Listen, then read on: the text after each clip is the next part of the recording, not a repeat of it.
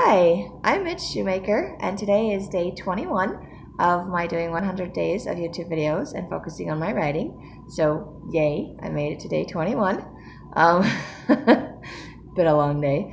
Um, I was kind of hoping that I would get to where I was doing my writing first, and then I got up today and I was like, okay, this just isn't working out for me, so I'm just gonna start trying to go to work first and do my writing after work because that's what I seem to keep doing. I'll just have to go to work earlier. And then that didn't work out for me today either. And then when I was reading my scriptures and meditationals, I started getting all these ideas for what to do with my books. So I started just jotting down notes for what I needed to work on when I got to my books tonight because I needed to go to work. And so, yeah, my writing is kind of all over the place, just like myself. And it was kind of interesting tonight because I was working on um, recognizing God's hand in my life and kind of saw it again today because I was writing about my grandpa and um, him telling me that my sleep was more important than the activities and things that I wanted to do. So he wasn't going to wake me up to go do something I wanted to do because I needed to sleep. And, and of course, here I am, like depriving myself of sleep. And I was like, wow, when I was really little, my grandpa was trying to teach me how to take care of myself and what was important and what wasn't. And I've completely forgotten all those things, and now I need to relearn them. But it's kind of interesting that by writing about it, it's kind of, I'm remembering things that I was taught or started to be taught or the idea of. It wasn't a consistent thing throughout my life. It definitely wasn't something that um, my parents were good at doing, my biological parents anyway. Um, so it's something that I've had to learn, and I haven't been very good at it which is why I keep trying to tell myself I need to be on a schedule because I think if I can stick to a schedule, a certain time to go to bed, a certain time to get up, and even if it's, you know, a little bit flexible, if I don't do everything 100% whatever, um, I can at least do part of it somewhere in there, you know, just the, the gist of it, the idea that it starts here and ends here, and this is how my day is supposed to go. And then, of course, you know, some things I can take less time at or more time at. And I would really like more time with my writing. And I basically had like less than an hour today or an hour. I spent an hour, like half an hour reading something on Lanoia and just keep changing the same things over and over again, going back and forth. And I'm like, ah, frustrated with myself on that. So I'm like I changed it to try to like make my friend happy. I'm like, I'm not doing this to make my friend happy. I'm changing it back. And I just keep going back and forth on that one debating whether or not to do a prologue for that story. I have an idea for the prologue for that story, and part of me is like, no, I don't want to do it. But I had just not just the one friend that was asking about a backstory, but someone else that read it, and she was like um, curious what happened to the Lanoia's parents, and I'm like, she's an orphan. I don't care. like, she's an orphan. she doesn't know what happened to her parents. Um, but I mean, I guess I could do a prologue and tell everybody what happened to her parents. Take the fun out of that. Um, I don't know. I haven't decided on that one. I may or may not do that. I have an idea for it, but I'm I'm still debating whether or not I'll do it. I'm thinking I can take the ideas for the prologue and just kind of um, mention them, not exactly as backstory for Lanoia because she wouldn't really remember, but just commentary from other characters like around her that just kind of like indicate what her life is like as she goes back and forth or something. I don't know. Anyway, so I don't have to write my prologue, or I might write it at the end of the book. I don't know. I'm still debating that. I need to get through revising it first, but I've kind of decided today, and of course I may change my mind again tomorrow or some other day, that since the two books that are closest to being published right now are God's Hand in My Recognizing God's Hand in My Life and Lanoia and the Teachers of Powers, I want to try to go through and revise them, rewrite them, whatever I need to do with those two books.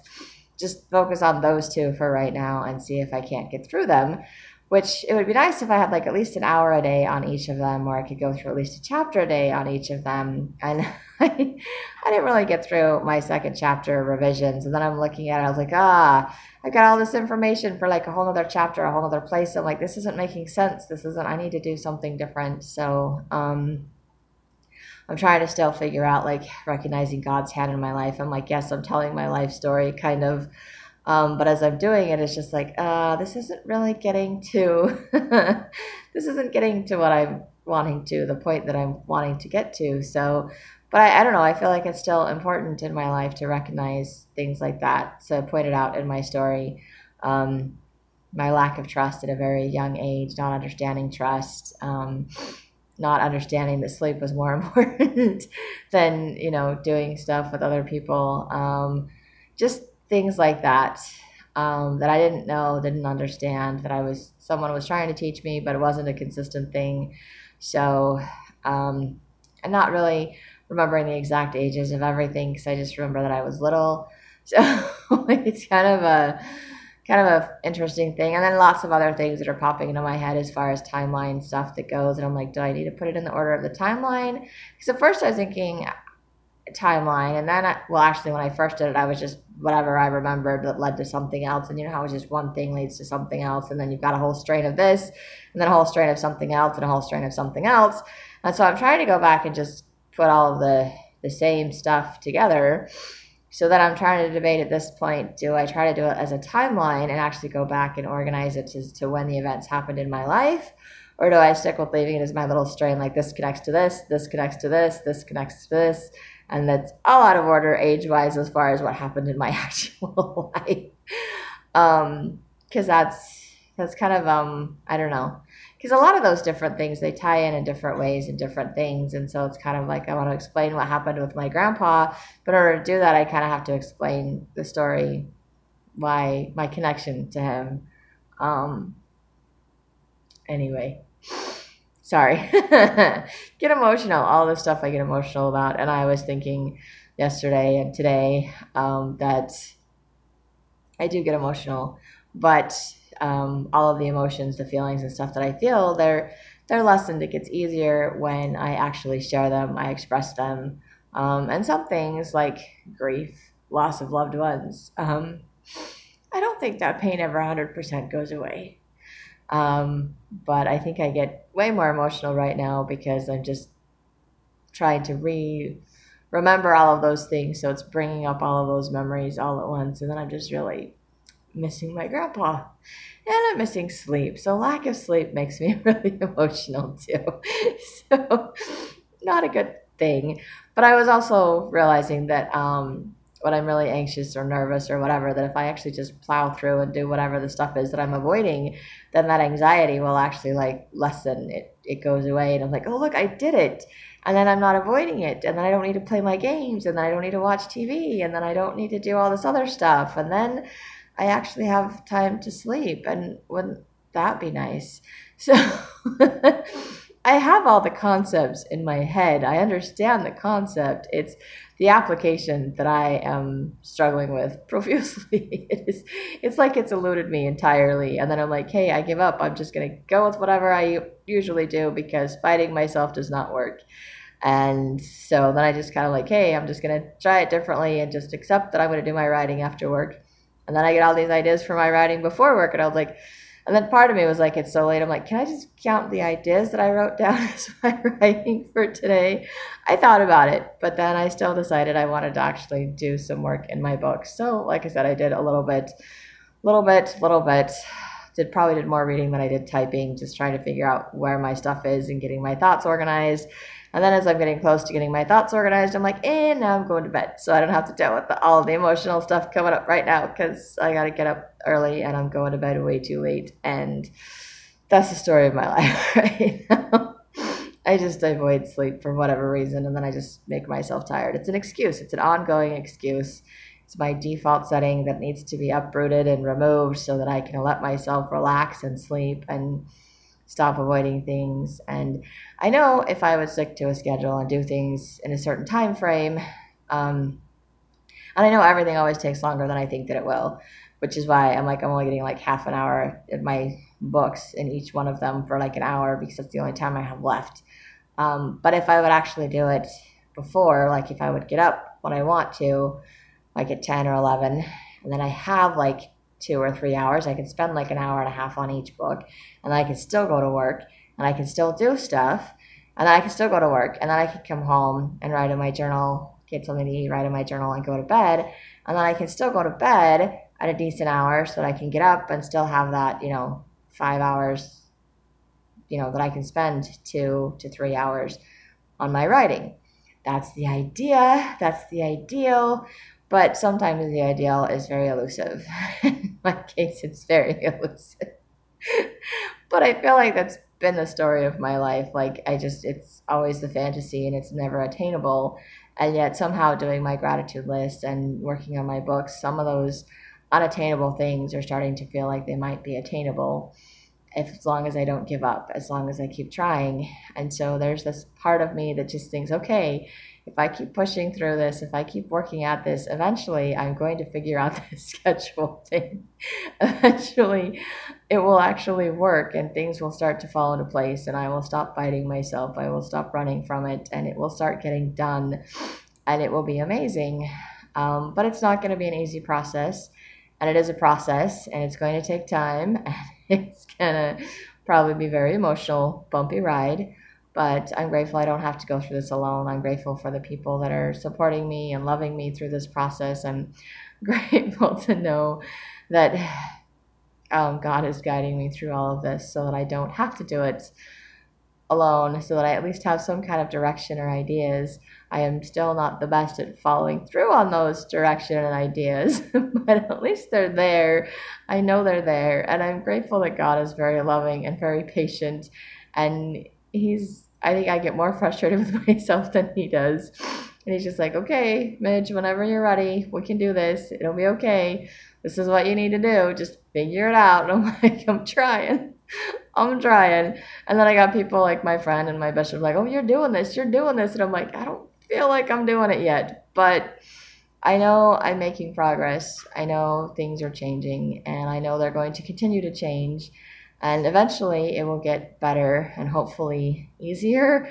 I don't know. But maybe I'll get a little bit more consistent. And even getting consistent will probably help me if nothing else, I will get a little more sleep and I will be a little less emotional, and that will be nicer. Um, but I'm still going to have to deal with all of my emotions. I'm still going to have to work through all of them as I do my writing. And I realize that that's not something that's going to just totally happen in 100 days. I will still have emotional things and probably background trauma stuff that's going to come up possibly the rest of my life. Hopefully not, but I have tons more stories to write that are definitely not getting written in 100 days, especially if I can't even figure out the ones I've got in the next 100 days. So I'm trying. I'm working on it. Progress, not perfection. Love that for my 12 step program. Just grateful for those little reminders. Grateful I can still say stuff about my gratitudes.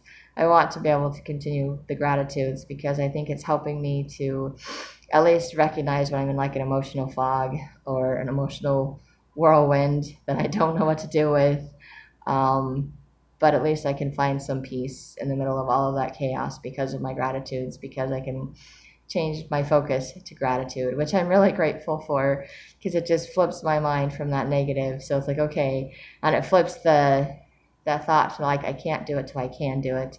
So today I was like, I had a bunch of stuff on my list, and I'm like, I can do all of it. I'm like, I'm Wonder Woman. I'm gonna do all of this tonight.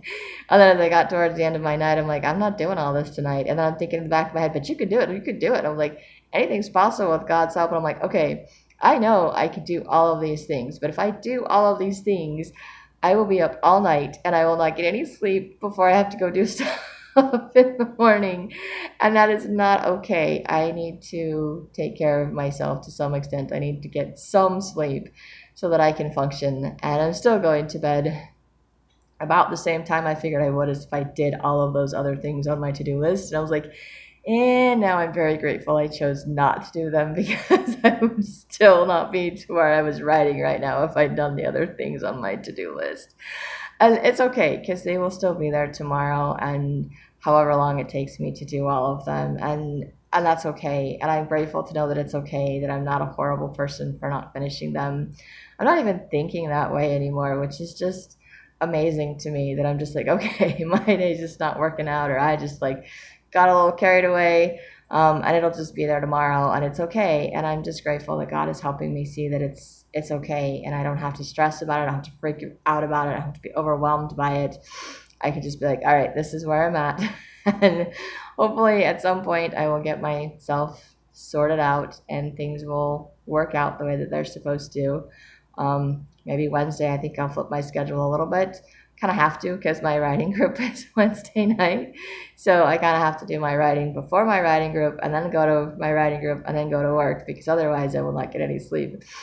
Either that or I have to try to go to work before my writing group, but I'm pretty sure I'm not going to be awake to do that. so gonna have to do my writing before my writing group. So, and then maybe I can kind of keep myself on that schedule for the weekend, and that would be really good. Um, but we'll see. Like I said, it's I'm a work in progress. I keep trying. It's the idea. Some days I do better than others, and maybe one of these days I'll actually get it right the way that I want it to be, and then we'll see what happens from there. I think once I do it one day, I'm like, okay, I did it one day, I can do it another day, and it'll just start progressing from there. I hope. Um, but anyway, that's as far as I've gotten on my writing, and I'm grateful that I could kind of be reminded just from memories that are triggered by my writing that I need to take care of myself and that my sleep is more important than other things, including my writing that I wanted to do right now. So that was kind of what I needed to read to, to be like, okay, it's time to go to bed. So I'm grateful for that, and I'm grateful I could still do this video tonight, and I hope you have a great day full of gratitude.